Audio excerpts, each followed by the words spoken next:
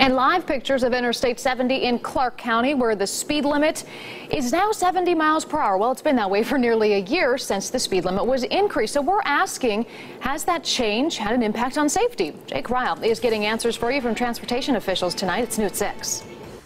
Five miles an hour. That's the difference lawmakers were fighting over only one year ago. Tonight, we uncover whether or not those five extra miles were worth it to driver safety.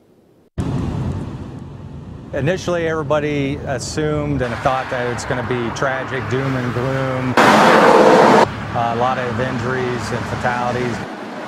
But a year after lawmakers changed the speed limit from 65 to 70, the differences in accidents has been minimal. But in reality, um, we haven't really seen an increase of anything that we can contribute uh, to the posted speed limit being higher. Big rigs are noticing a big difference. Semi-truck speed limits has increased from 55 to 70 miles per hour. Everybody's doing about the same speed limit. Uh, even before the 70 mile an hour, we had trucks at 55, cars at 65, um, and we could contribute some of the crashes and some problems because of that 10 mile an hour differences. Accidents, we wanted to know if the speed limit would.